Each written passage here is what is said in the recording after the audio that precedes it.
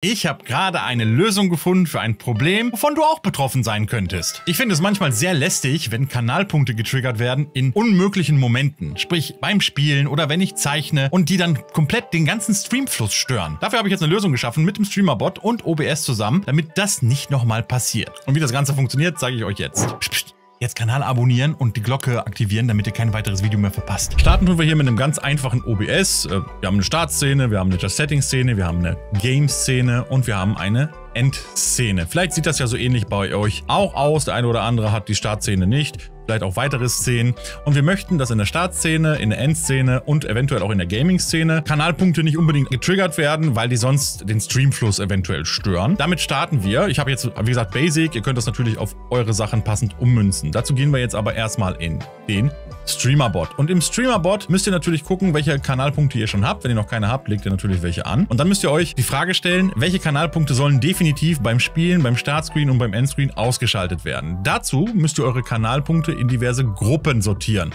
Gruppen macht Sinn, ihr könnt auch alle einzeln machen und die dann einzeln, naja, abfeuern später. In der Gruppe macht es aber mehr Sinn, deswegen legen wir hier Gruppen an. Ich lege jetzt erstmal einen Kanalpunkt an, ganz easy. Wir gehen hier einfach im Streamerbot unter Platforms, rechte Maustaste, Add und legen hier einfach einen Kanalpunkt an, irgendeinen, ja, ich nenne ihn jetzt hier KP, einmal Kost. Und wichtig ist hier unten bei Gruppe, dass ihr hier eine Gruppe wählt. Und hier sage ich KP On. Das sind die Sachen, die an- und ausgeschaltet werden sollen. KP On Off nennen wir die mal. Ja, das ist die, die wir brauchen. Wichtig ist, dass ihr den Namen später merkt, beziehungsweise euch die kopiert oder später nochmal kopiert. Geht alles. Ich sag okay. Das heißt also, wir haben jetzt hier einen Kanalpunkt, der KP heißt, der kostet 1 und ist gerade an und ist in dieser Kanalpunkte-Kategorie. Dann habt ihr vielleicht den einen oder anderen Kanalpunkt, der immer an sein darf, zum Beispiel VIP werden oder highlighte deine Nachricht oder sowas. Was, irgendwelche solche Sachen. Dann könnt ihr natürlich wieder eine Gruppe einfügen mit eurem Kanalpunkt. Ihr könnt dann hier, was weiß ich, nennen die jetzt einfach 11 und sagt dann KP Dauer. Das sind dann meine Kanalpunkte, die halt immer an sind. Ja, so unterscheide ich das dann später bei Kanalpunkten. So strukturiert man das dann auch.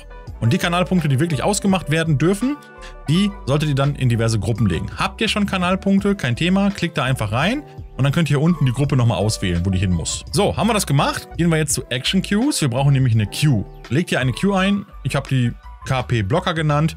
Wichtig ist, dass sie non-blocked ist. Das heißt also, wenn ihr eine anlegt mit Add und hier den Namen einträgt, bitte hier keinen Haken setzen. Dann ist das auch okay. Und jetzt gehen wir in die Aktionen. Die allerersten Sachen, die ich jetzt mache, sind folgende. Wir legen zwei Aktionen an. Einmal, dass die Kanalpunkte angemacht werden können einmal, dass die ausgemacht werden können. Ich lagere die ein bisschen aus von den zusätzlichen Aktionen, weil vielleicht will ja der eine oder andere Moderator das auch mal ausmachen dürfen oder du selber per ja, Tastendruck am Stream Deck oder per Befehl im Chat. Also lagere ich die ganze Sache aus. Gehen jetzt hier mit der rechten Maustaste dann einfach auf Aktionen, gehen auf Add und sagen KP on, ja, so nenne ich das eine und leg dann eine Gruppe für an, Kanal, Punkte von mir aus und leg die in die Queue KP Blocker und sage okay. Dann habe ich jetzt hier schon mal KP on. Und was wir jetzt hier machen, wir sagen hier in den Sub-Actions, dass die Kanalpunkte an oder ausgemacht werden. In dem Fall an. Wir gehen dann also in die Sub-Actions, rechte Maustaste, gehen auf Twitch, dann gehen wir auf Rewards und dann gehen wir auf Set Group Enable State. Und hier sagen wir Enable. Und jetzt brauche ich, was wir gesagt haben, die Kanalpunkte Gruppe bzw. den Namen der Kanalpunkte. Jetzt drücke ich hier mal auf OK, weil ich es vergessen habe. Gehe dann hier auf Platforms, gehe dann hier unten und sage, ja, KP on off, das sind die, die immer an- und ausgeschaltet werden müssen. Also drücke ich hier mit der rechten Maustaste auf den Titel, gehe auf Group, gehe auf Rename und kann mir das gleich hier rauskopieren. SRGC, okay, Gehe wieder zurück auf Aktion, gehe hier rein und tippe das hier ein. Und damit werden die Kanalpunkte aktiviert. Was wir hier noch brauchen, ist vielleicht so ein Indikator, eine Message, dass wir das wissen und dass der Stream das auch weiß, wenn die jetzt nicht gerade in die Kanalpunkte schauen. Also drücke ich hier mit der rechten Maustaste drauf, gehe auf Twitch, gehe auf Chat, gehe auf Send Announcement, weil das sieht ein bisschen schöner aus, wenn das in den Chat kommt. Dann wird das halt richtig schön aufgehellt. So ein Highlight sozusagen. Klick dann auf Send Announcement und kann hier so eine Farbe auswählen. Ich nehme in dem Fall Orange, weil Rot haben wir nicht und sage Kanalpunkte deaktiviert. Haben wir das gemacht? Kriegen wir jetzt natürlich auch noch eine Nachricht in den Chat. Wie gesagt, schön aufgehellt, zeige ich euch gleich, dass die Kanalpunkte deaktiviert sind. Was wir jetzt noch machen, wir machen jetzt noch einen Trigger, zum Beispiel für Moderatoren oder für dich selber. Also ein Command, dass du den auch separat ausschalten kannst, unabhängig davon, ob du Szenen wechselst oder nicht. Also gehen wir hier rein, oben auf Triggers, rechte Maustaste, gehen auf Core, gehen auf Comments, gehen auf Comment Trigger, gehe auf Create Command und sage hier KP On, so dass es von mir aus so heißen. Und Command ist K On für mich. Ja, aber ihr könnt das ja nennen, wie ihr wollt. Und dann die Moderatoren einmal rüberschieben und auf OK drücken. Und OK. Und jetzt haben wir diese Basisaktion für Kanalpunkte an schon aktiviert oder beziehungsweise schon angelegt. Jetzt kopieren wir uns diese Aktion, rechte Maustaste hier auf diese Aktion, Duplicate und benennen die einfach um in KP Off, sagen OK. Jetzt müssen wir hier noch so ein paar Sachen ändern, zum Beispiel den Command. Wir gehen hier wieder auf Create Command, sagen KP Off in dem Fall und dann nenne ich das ganze Ausrufezeichen K off. Wie ihr das benennt, ist ja egal, so wie ihr es merken könnt. Also wieder Moderator rüber, sagen okay, dann sage ich auch okay und dementsprechend habe ich jetzt hier den anderen Command. Und hier unten machen wir jetzt die Kanalpunkte aus, also Doppelklick drauf, dann könnt ihr hier unter State auf Disable gehen, sagt OK und im Announcement ändere ich die Farbe von Orange auf Grün und sage Kanalpunkte aktiviert und so weiß man Bescheid. Wir machen jetzt mal einen kleinen Test. Und zwar kann ich jetzt hier den Kanalpunkt einmal triggern. Ihr seht hier den Chat hier auf der linken Seite und gehe da jetzt drauf, gehe auf Test und dann seht ihr ein Announcement, grün hinterlegt, Kanalpunkte sind aktiviert, wobei wir die hier deaktivieren wollten. Also muss hier eigentlich deaktiviert rein, deaktiviert und das Ganze ist orange. Sorry, so, nicht vertauschen. Und bei KP On geht ihr hier auf Kanalpunkte grün, Kanalpunkte aktiviert und hier bei Reward Set Group Enable State auf Disable. So rum. Ja. Okay, habt ihr das gemacht? Können wir jetzt nochmal testen. Also KP on, gehen wir hier drauf. Zack, es ist grün, Kanalpunkte aktiviert. Und KP off, testen den Trigger, Kanalpunkte in orange deaktiviert. Und jetzt müssen wir auch nochmal gucken, ob das wirklich so ist. Gehen jetzt hier auf Platforms, gehen hier runter und gucken. Ah ja, KP on off ist gerade deaktiviert. Steht auf No, kann man hier lesen. Ne? Dann haben wir diese beiden Aktionen schon mal ready. Wie gesagt, die sind ausgelagert. Ihr könnt noch irgendwelche Animationen reinmachen oder andere Indikatoren. Bei mir im Stream zum Beispiel, auf Twitch, da könnt ihr auch mal ab und zu einschalten, weil wir sowas auch live mal machen. Da habe ich zum Beispiel einen Indikator, wo sich ein Icon ändert.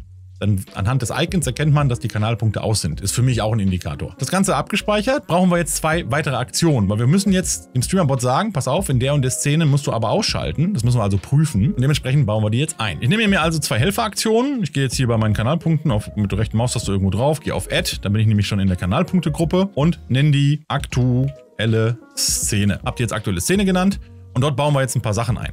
Wir wollen jetzt, dass in der aktuellen Szene alle Szenen, die wo die Kanalpunkte aktiviert werden dürfen, auch hiermit angelegt werden. In meinem Fall wäre das jetzt das Chatting. Also gehe ich jetzt mit der rechten Maustaste hier auf Trigger, gehe auf OBS und dann könnt ihr hier unten auf OBS Scene Changed klicken und könnt dann hier oben die WebSocket aktivieren, je nachdem, ob ihr einen habt oder mehrere habt. Wählt das aus, was ihr braucht oder halt Any, wenn ihr nur einen habt, dann reicht das. Und hier müsst ihr den Szenennamen jetzt eintragen, wo die Kanalpunkte immer aktiviert sein dürfen. Bei mir war es jetzt das Setting. Wenn ich nicht weiß, wie ich es eintippe, ja, oder es falsch eintippe, dann reagiert er nicht. Deswegen geht einfach in euer OBS, eure Szene, drückt F2 und könnt ihr das hier einmal rauskopieren, geht wieder in euer Streamer-Bot und kopiert das hier rein. Und jetzt haben wir eine Abfrage drin. Ja, also wenn die Szene gewechselt wird und die zufälligerweise der Setting-Szene ist, dann machst du jetzt folgendes. Gehen jetzt hier mit der rechten Maustaste rein, unten bei Sub-Actions, gehen auf Core, gehen auf Actions, gehen auf Run-Action und sagen hier in dem Fall, soll er die Kanalpunkte anmachen. Wir übernehmen das. Haben wir das übernommen? Ist es jetzt immer so, wenn die Szene in das Chatting wechselt, macht er die Kanalpunkte an. Was jetzt aber wichtig ist, wenn ihr jetzt mehrere Szenen hier drin habt, ja, dann ist es so, dass wenn ihr die Szenen die ganze Zeit switcht, er auch immer wieder diese Aktion ausführt. Was natürlich ein bisschen doof ist, weil dann bekommt ihr nämlich immer wieder die Meldung, dass ihr gewechselt habt. Wir machen das mal zum Test. Ja, also ich werde jetzt hier einmal das hier oben einmal kopieren, den Trigger, werde den hier wieder einfügen, Paste Trigger, und nehme mir jetzt die Szene Game. So. Und egal, in welche Szene ich jetzt gehe, ja, ich gehe jetzt hier rein, dann seht ihr Kanalpunkte aktiviert. Ich gehe jetzt hier rein, kann man hier oben sehen, ne? Kanalpunkte wieder aktiviert. Das heißt also, ich bin zwar in den Szenen, wo die Kanalpunkte aktiviert sein dürfen, aber es ist immer wieder so, dass ich eine Chatnachricht bekomme und das nervt. Und das müssen wir jetzt auch noch korrigieren. Also gehen wir zurück in den Streamerbot. Im Streamerbot drin brauchen wir jetzt aber natürlich noch eine weitere Szene und zwar da, wo die Kanalpunkte ausgeschaltet werden müssen. Wir nehmen also hier die aktuelle Szene, duplizieren das, Duplicate und dann nenne ich die äh, aktuelle Szene KP off von mir aus, ja, dass ich weiß, dass da die Kanalpunkte ausgeschaltet werden müssten. Und in der Aktion ändern wir KP On auf KP Off.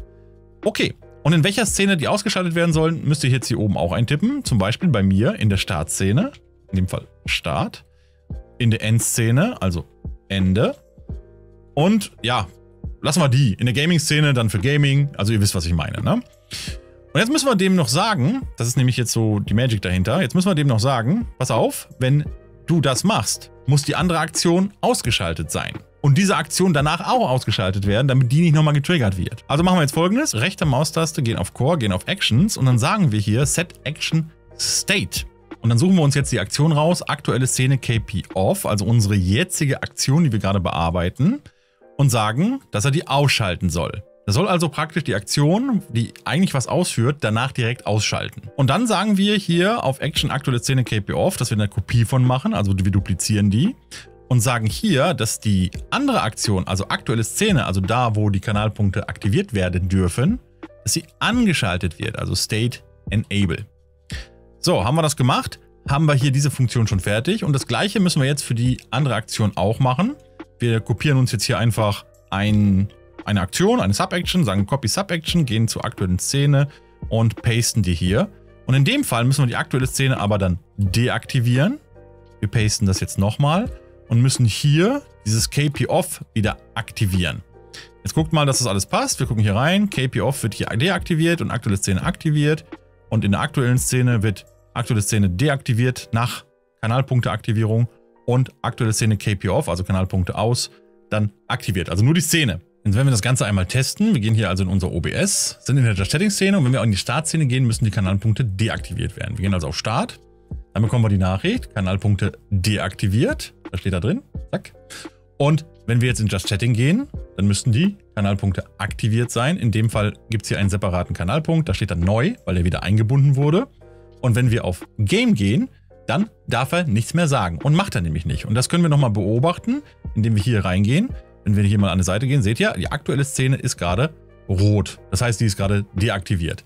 Gehe ich jetzt auf Ende, werden die Kanalpunkte wieder deaktiviert. Die fliegen hier aus den Kanalpunkten raus. Ich gehe wieder in den Streamer-Bot und ihr seht, jetzt ist aktuelle Szene KP off aus, aber aktuelle Szene, normale Szene, wo die anderen Sachen jetzt aktiviert werden dürfen, wenn man da drauf ist, an. Und so habt ihr jetzt erstmal diese Automatisierung für die einzelnen Szenen.